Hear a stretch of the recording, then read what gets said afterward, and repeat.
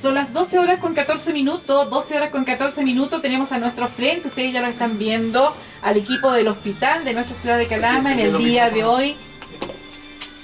Todo no.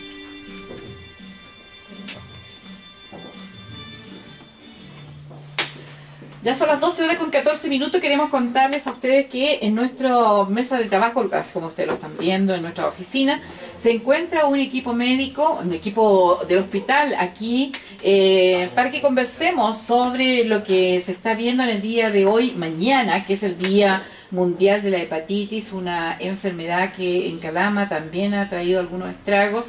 Nos encontramos frente, se van a, ellas a dar a conocer. Eh, le quiero recordar a ella que estamos con Radio Sensación en la Área, Radio Carnaval en Calama y Radio Atacama la Grande en San Pedro de Atacama, para que también envíen allá un saludito y capaz que tengan alguna acción de, trabajo también allá en San Pedro de Atacama o los pueblos del interior. Comenzamos con las damas. Hola, buenas tardes. Mi nombre es Kenia Carvajal, soy tecnólogo médico del Hospital Carlos Cisterna, específicamente de la unidad de laboratorio clínico. ¿Del laboratorio clínico? Sí. ¿Ya? Mi nombre es Sonia Jara, soy la enfermera delegada de epidemiología del Hospital Carlos Cisterna. Ajá, todos se van a querer enfermar ahí, ¿ah? Buenas tardes, mi nombre es Alberto Godoy, yo soy tecnólogo médico también y coordinador de la unidad de medicina transfusional. Algunos todavía lo conocen como banco de sangre. Ay, se cambió nombre, ¿ah? ¿Coordinador? Sí, coordinador de la unidad de medicina transfusional. Ah, mira. Eh, pero que en el fondo cuando nosotros hablamos en, eh, más docente decimos el banco de sangre, que eh, se hace constantemente todos los meses una colaboración voluntaria para todas aquellas personas que quieran donar sangre, la verdad es que es muy necesaria. Así es que con ellos tres vamos a estar conversando, sobre todo comenzamos con la enfermera, porque seguramente que ella es la que está ahí atenta con este tema del día a día, eh, con el enfermo de la, esta epidemia que es la hepatitis, eh, que a veces la gente no la conoce mucho, ¿ah? no le toma la, atención. Exactamente. Bueno, la idea de hospital y como grupo interdisciplinario del hospital es acercarnos a la comunidad debido a través de la información, debido a que este día de mañana se cumple una, otro año de lo que celebramos como prevención contra las hepatitis. Comunicarle a, a, toda la, la, comunidad de que nos, existen tres tipos de hepatitis que es una enfermedad de tipo infecciosa que nosotros podemos prevenir. Con lo cual, eh, dentro de lo que es la hepatitis A, que es la de transmisión vía alimentaria, es la cual ha dado eh, grandes problemas en el fondo este año a, tres regiones, que es Santiago, Viña del Mar y Antofagasta, y en lo cual tenemos que empezar a trabajar en cuanto a la prevención. El Hospital Carlos Cisterna el día de mañana eh, va a trabajar eh, todo lo que es la prevención en el paseo peatonal eh, de acá Ya. Sí. Justo mañana. Ramírez. Mañana. Justo mañana, porque mañana también se va a llevar a efecto otra actividad que se llama el machismo mata. A ver, vamos a estar en conjunto entonces trabajando con la comunidad. Eso es importante. Importante. Ver el acercamiento de todo lo que son las instituciones públicas para la comuna de Calama y los pueblos de interior. así es que esta, esta prevención que tenemos, eh, que es la más común, la que más se conoce, que la hepatitis proviene de alimentos que no han sido bien eh, tratados, que no lo han lavado como corresponde en el ámbito de la legumbre o de la no de la mm, hortalizas. por ejemplo, cuando no las lavan bien. Exactamente. Eh, Ahora, eso es lo que queremos nosotros difundir a la comunidad, que sabiendo que como es una enfermedad que se produce por una manipulación de alimentos o mala manipulación de las aguas, tenemos que saber que en la casa tenemos todos los medios para prevenirla, ¿ya? importantísimo el lavado de manos a la salida del baño, al preparar los alimentos, a darle la, al darle la comida a nuestros hijos, a los adultos mayores, súper importante, ese, esa es como la precaución estándar de mayor impacto para, que, para ¿ah? prevenir.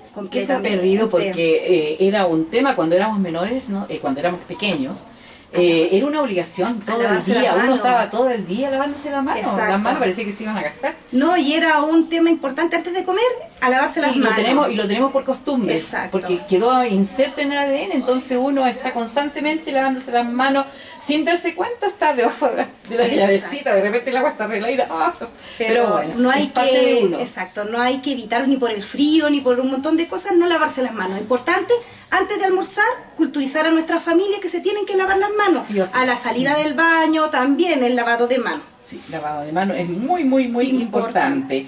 ¿Y qué otro tipo de hepatitis existe? Porque me, hablaba de tres. Claro, la de tipo B y la de tipo C. La de tipo B está relacionada con la transmisión sexual, el uso de agujas, eh, por ejemplo, los tatuajes, en los piercing y la hepatitis C también. Ah, sí. Y ahí se ha visto más porque hoy día es más común ver a los chicos con... Eh, con, tatuajes, con, piercing, ya que es una tendencia.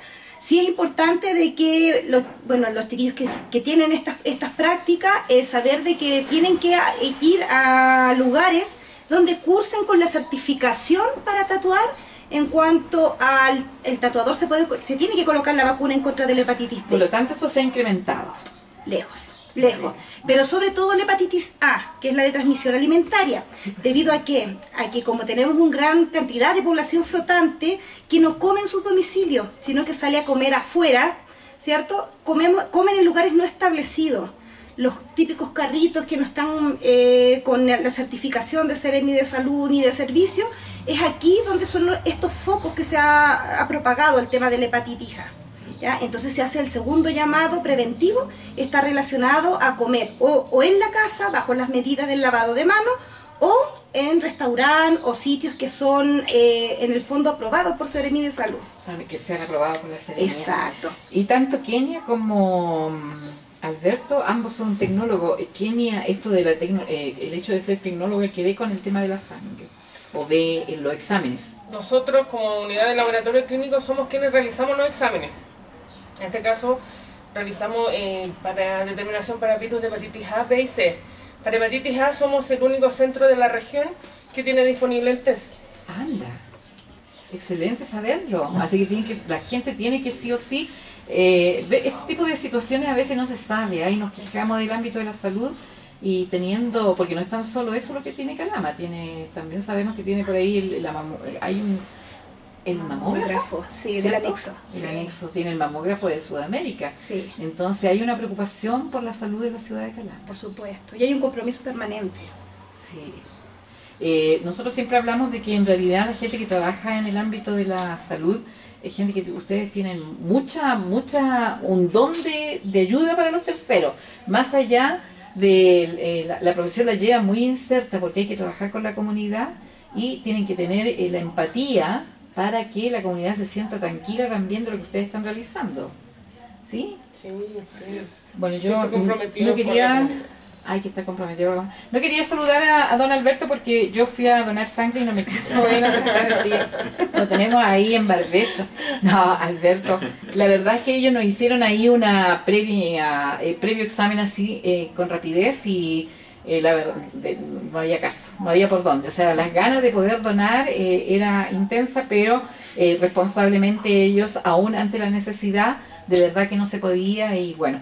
Eh, es importante que esto se hace constantemente y todos los meses, pero hay tiempo en que se hace como una campaña más masiva para, para esta donación.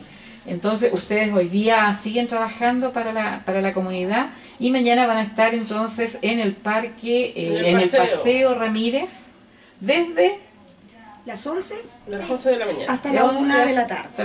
dos horitas que van a estar ahí para que la gente se pueda ir interiorizando. Si usted va al centro a pagar alguna, hacer alguna mm, eh, trámite. algún trámite, me está acompañando el Esther, entonces ustedes me van a tener que apoyar. ¿ah? Eh, si van a hacer algún trámite, aprovechen de pasar por el Paseo Ramírez, ahí van a estar ellos atendiéndole, esperando, también le hacen prevención y esto es muy bueno porque de verdad que uno si bien es cierto que, se, que, que, sabe que puede tener tal o cual cosa, pero no se va, no, no, no, está muy comprometido con el ámbito de la salud. En cambio ahí con rapidez le pueden ver eh, los primeros pasos y después la van derivando para en caso de. Sí, para responder sus consultas, sus dudas, sus inquietudes respecto a la hepatitis mañana en el paseo. Todo lo que tenga que ver con la hepatitis mañana. Pero si le hacen alguna otra consulta igual. Siempre dispuesto. Siempre, dispuesto. Oiga, queremos agradecerle la visita, pues. ¿Ya? Oiga, nosotros tenemos un ratito más la, la, entre, la, la visita del Ceremi de Medio Ambiente. También tiene que ver con ustedes el medio ambiente. Sí, de hecho tenemos un área de me- medioambiental en el hospital. De hecho somos un hospital libre de mercurio. Hemos tratado de implementar el tema del reciclaje a través de salud ocupacional. Así que sí, estamos Sí. también comprometidos con el tema. Han estado trabajando internamente, es más, estuvieron haciendo algunas actividades, no hace mucho, no, no, no alcancé yo ahí, pero sí me enteré de algunas cosas que hacen como manualidades, de reciclaje. Sí, de reciclaje. Y eso es buenísimo porque le van enseñando la- y tanta cosa que se va de, de- de, eh, sacando de allí. Ah, todo lo que no, no sirve, de tantas cosas que le llevan a los enfermos, todos los que son paquetitos, de bolsita, etcétera, Todo. todo eso se va reciclando y va ayudando también a colaborar con el medio ambiente. Exacto. Bueno, agradecerles a ustedes esta visita y a ustedes invitarlos a continuar en forma diferida con cada una de nuestras radioemisoras. Recordemos que la hepatitis está actuando, ¿ah? así es que a tener cuidado. Mañana, si quieres saber algo más al respecto, ellas van a estar cordialmente junto con Alberto, él, eh, atendiéndoles allí en el Paseo Ramírez para que en el conjunto puedan ir respondiendo a las consultas que les puedan ir realizando. Oye, que tengan buenos días. Muchas Bueno, gracias. sí, gracias. O buenas tardes, ya nos vemos con las noticias.